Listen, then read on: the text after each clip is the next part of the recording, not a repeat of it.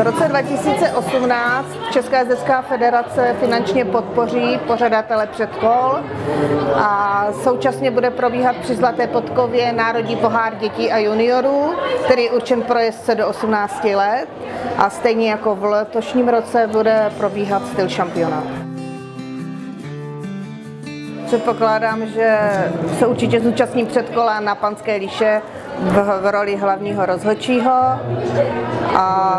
i v roli uh, hlavní rozhodčí při mistrovství republiky.